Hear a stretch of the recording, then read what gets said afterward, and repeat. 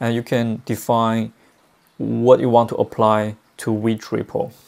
That is a super convenient, especially for people need manage a lot of codemods. Hello developers, welcome back to iCodeit. In this video, we're going to talk about the Hypermod, uh, a tool that uh, I recently discovered um, and that can simplify your uh, codemod um, application.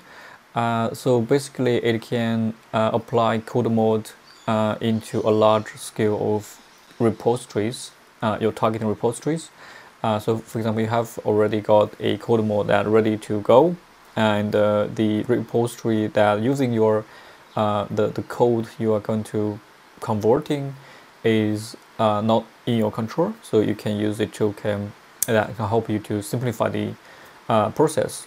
Hypermod is developed by uh, Daniel Del Core, one of my colleagues at Atlassian.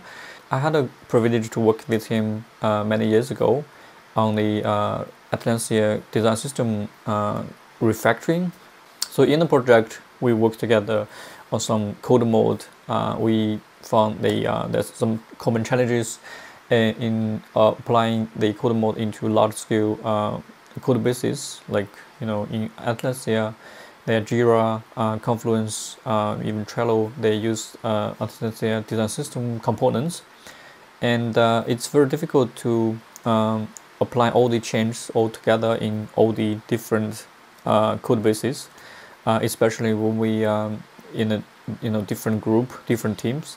Um, and uh, Daniel has been working on that field for many years, and he got the um, uh, distilled all the patterns, uh, summarize all the knowledge into a common place called Hypermod. I found it's very useful, um, at least for my um, development of codemod. So uh, we will go to introduce this tool in this video. If you want to try it out or you have any uh, requirement, you know, feature requirement, please let me know in the comments below. So let's get started. So if you haven't yet, I got a video on um, codemod 101, uh, basically covering all the uh, fundamental concepts in uh, codemod writing, uh, the SAST, for example, and all the other like uh, the two uh, command line tools to help you to do that in your local repo. And if you haven't yet, please check it out. So let's say you have finished your codemod, you have verified it, you have tested it completely, and you, you have this transform function ready and you can apply that easily by using the jscodeshift uh, command line tool in your local. But what happens if you have a lot of code base that you need to update? For example, you need to update a lot of other um, you know products that are using your code that need the codemod. Um, it's not very easy, right? Especially when you have, let's say, many code code models and uh, you have a lot of code base need to apply them. That is not a very easy job to do. Uh, if, especially when you have multiple uh, transforms and multiple uh, code bases. So Hypermod has addressed this issue very well. Uh, he managed all the transforms uh, in the library. it's called transform library. You basically define all your codemod into a library. And also on the other hand, it has uh, connected to different uh, code bases that need to apply the changes. So you can then, um, because this Hypermod has already managed all of them, like they have registered the uh, code, code base and on the other hand, it has your codemod. And you can define what you want to apply to which repo. That is a super convenient tool for, uh, especially for people need a lot of um, manage a lot of codemods and uh, they need to apply that in a variety of code bases. I have a concurrent example in this video, but before we dive into that example, let's have some basic understanding of how the Hypermod works. So we need to understand the, the, the, the process and some core, concepts. Uh, it's, it's actually a very simple uh, process. So basically you need to install the uh, Hypermod into your code base so let's say you have a, a GitHub repository. You basically uh, Hypermod has a GitHub application. So you, you just uh, you know authorize the Hypermod to access your repo, so it can quickly PR, uh, quickly the um, the workflow, um, you know GitHub actions. Uh, if you haven't yet, I have uh, another video about GitHub Actions as well. But yeah, basically it has a one-off process. You need to install the Hypermod uh, into your repo, and then you need to connect your repo uh, with Hypermod so you can uh, preview the change you made when you when you compose uh, the codemod uh, in, in, Hypermod. Uh, you can see how the the codemod applied to your repo looks like. you mean you may need to tackle some changes there and uh, yeah, that's basically step one. You need to install it. And the next concept is uh, sandbox. So sandbox is the environment uh, that you can compose, you can test, you can um, analysis, you can define your um, codemod, or we call it transform in Hypermod. Um, so basically, it's um, uh, it's you can think of that as an IDE. It has everything ready for you to test your codemod uh, and uh, prototyping your codemod, you know, once you're happy with the before and after comparison, you can apply, you can you can preview the result uh, against the target repo. And uh, one of the beautiful thing in um, Hypermod is uh, AI supporting. So basically, the, you can ask the AI to generate the codemod, uh, at least the, the draft for you and then you can refine, you know, uh, tackle all the edge cases. And the UI is very uh, intuitive. You can just see the before and after, and and uh, we will see that in a minute. But basically, the UI is very straightforward. It's very intuitive. You can see the before and after um, uh, of your transform, and uh, the once you have once you're happy with the result, the next step will be deployment.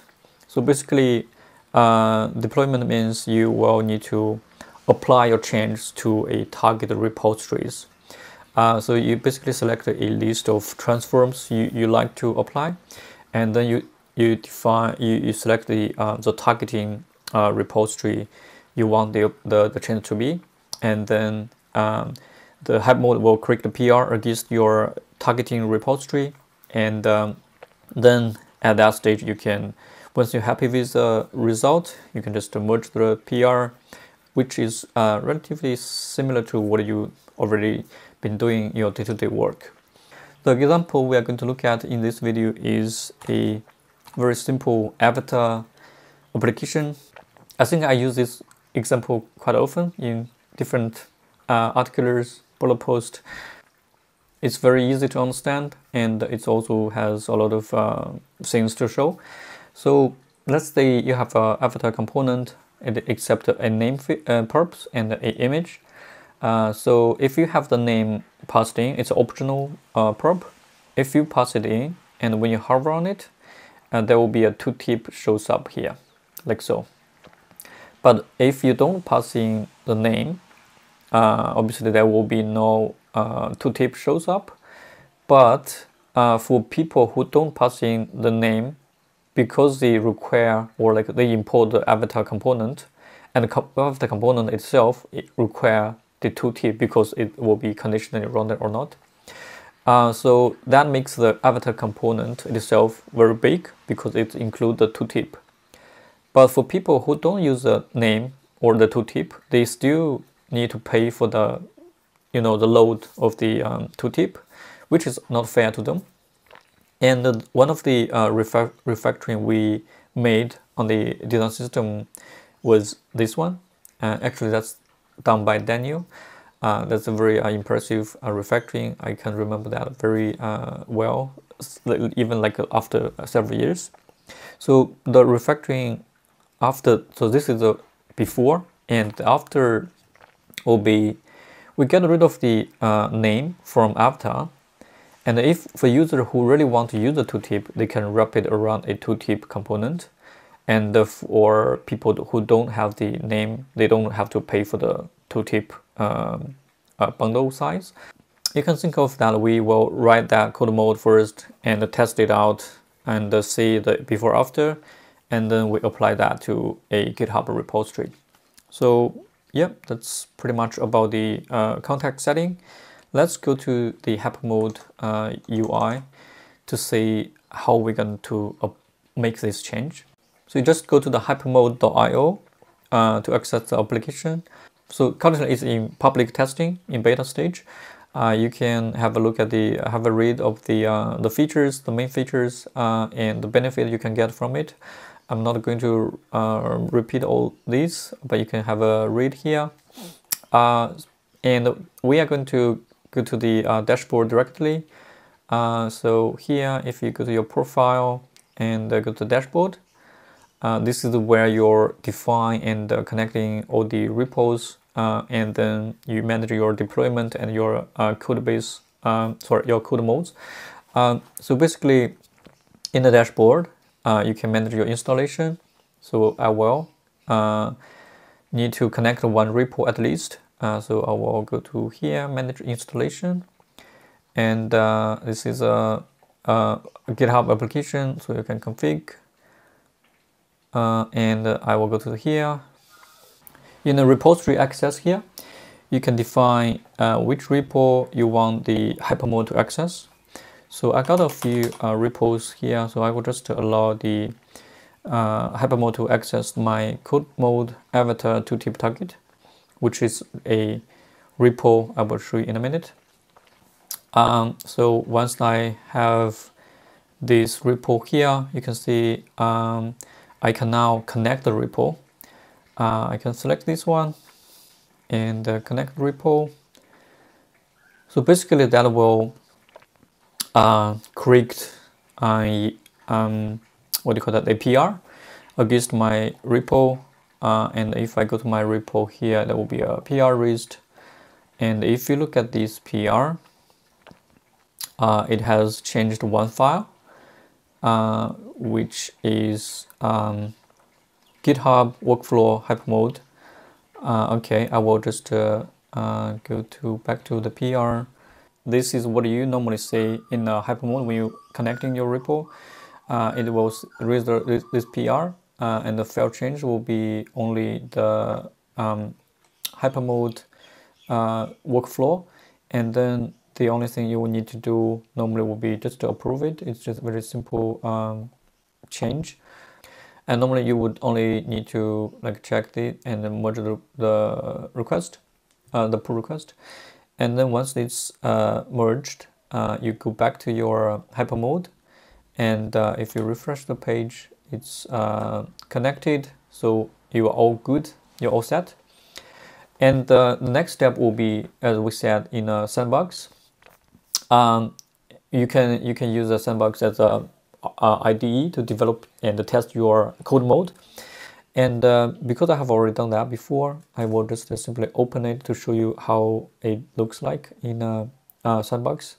In the library tab, there is a bunch of transforms and you can, uh, if we go to this uh, particular transform, it will open up the sandbox.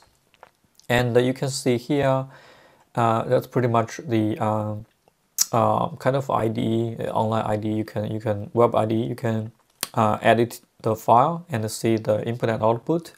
So this section is the input. Uh, that's the thing you are trying to uh, verify, like the before, and this is after. Uh, and there are a bunch of other features here, and the AI is here in, in the mode. So normally you can put the some what you call the prompt um, or instructions to AI and then uh, let it complete the current file. It will read the comments and um, generate the uh, corresponding codemod for you. Uh, I have already done that part, so I will just uh, quickly demonstrate what the UI uh, looks like. So there are other things like the you can define as many other files as, as well. And this one is the AST um, Explorer, you can check all the nodes, uh, the types. Uh, it's just to help you to do some debugging. And once you're happy with this uh, thing, and you can check the uh, final um, comparison, the before and after. So for example, I have a user profile component. It has a usage of avatar with a name and image. This is the before, and I want the transform to uh, convert this part into something like this. So in the new, after uh, conversion, you see the avatar uh, only has an image as a prop and the name is removed. and uh, there is a tooltip component wrapped around the avatar and also because the tooltip is a another lab uh, package so it has to be imported from the tooltip uh, you see here there is no such line. Uh, if we so avatar is the first line but the, in here the tooltip import tooltip is the first line. So that's exactly what I made in the codemod here. Uh, there's a function called tooltip import. So uh, it will ensure that when the name attribute is uh, shows up, we will ensure the tooltip is imported, um, and also it does all the um, other uh, conversion. And once we happy with the uh, the input and output comparison, that we will need to see if it really works in a uh, in a targeting repository. So in if we scroll keep if we keep scrolling down uh, in this part, uh, you can see there is a repository selector. We can select the codemod avatar tooltip selector um, targeting. Uh, this is another repo, and we can look at the avatar. It, it will compare the before and after uh, in a different form here as well. So if we look at the user profile uh, component, uh, and it fetch the uh, repository fetch a file from the repository and, and do the comparison. So you can see here, I am using the avatar with the image and the name. And uh, the after is the, the tooltip is wrapping around the avatar and uh, the name is removed and moved actually into the tooltip. That is exactly what we are looking for. Uh, and for other things like uh, the index.jsx, we don't want to change anything. So now we are happy with the final result. Uh, we can do deploy. you can either do it here uh, or in a library and select the uh, transforms. So we can simply click the deploy here. And uh, in the deployment screen, you need to, uh, they will ask you to uh, define the pull request a little bit. We say move to tip out of avatar and we can use that as a description as well. So now we need to select uh, which uh, repo we want to apply our change. So obviously we need to do this. Uh, the codemod avatar tooltip target is the repo we just uh, looking at here. And it also asking which transform you want to deploy.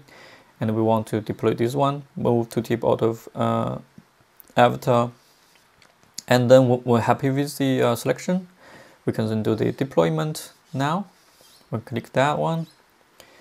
It will create the PR hopefully uh, in uh, targeting repository. Uh, let's see how it goes. Give it a few uh, seconds and then we go to the uh, repo and do a refresh. If everything goes well, we should be able to see a pull request here. Uh, GitHub is uh, by default it doesn't allow the uh, the action to correct the PR, so we need to turn on the settings. In the in the settings, we go to the action, uh, action general, and scroll down to the bottom. If you see the allow GitHub action to correct uh, and approve PR is not ticked, you need to tick that and save uh, and then you will be able to see a pull request created by the uh, uh, Hypermod. And if we go to that uh, PR and if we look at the file change uh, you will notice that only one file changed which is the user profile. The changes mm, from the avatar we're wrapping it around the tooltip and also we import tooltip uh, to the uh, uh, top line. And then yeah that's pretty much about the change looks like exactly what, what we were looking for and if we're happy with the result we can simply merge uh, yeah, um, I think it's okay. It's pretty safe to merge this uh, change. If we go back to our local repository uh, and pull the latest and we can start the application let's say uh, it should be running local um, 5173 Okay, there is a compiling error. The design system tooltip, we, uh, we need to change this one uh, to our local um, components. In real world, we could either do that in, as alias or um, in a Webpack uh, resolver, we just uh, rename this one. Could even write another codemod to do this conversion, but I think this should be fine. We just do that here. And then in the application, you see it's working just fine as before. Um, and the code is changed totally. Uh, the tooltip now wrapping around the avatar, uh, where the tooltip is from this package. And yeah, that's pretty much about the whole end-to-end -end process. Uh, let's review. Uh, yeah, that's pretty much about the whole uh, end-to-end -end journey of how you use the Hypermod to apply your changes. If we go back to uh, the Hypermod in the dashboard, um, and let's so let's quickly recap what the uh, process is like. So in a dashboard, you can quickly so in the dashboard, you can manage the installation. Uh, if you haven't yet, you, you, you will need to you know install the hypermod.io uh, GitHub app into your uh, repository, and then uh, you need to connect your repo uh, with the Hypermod and uh, then it will create a PR to add the the GitHub actions to your repo, and into in, in, you need to um, you need to approve that PR and merge the, uh, the change. And then uh, once you have that connection, you can go to the sandbox uh, either by click a sandbox to create a new one or adding the existing one, existing uh, transform. um, and uh, in a sandbox environment, you can basically define and testing out your um, uh, transform once you're happy with the result, you go to the uh, repository selector to compare the uh, before after. Uh, once you're happy with all the uh, result, uh, you can simply do the deployment and then it will raise the PR against your targeting repo. Uh, and yeah, basically you need to select the, the targeting repo. Maybe you have multiple repos that using the avatar, you want this change to be uh, applied to automatically to these different repos. And uh, yeah, that's basically the brief introduction of Hypermod. If you have any question about how to write codemod debugging or you want just familiar with the, uh, the Hypermod environment uh, and you want to test it out, please let me know in the comments below. And uh, I will work with Daniel to figure out how we can uh, make access for you. And uh, yeah, that's pretty much about the video for today. Thanks for watching and I will see you next time. Bye.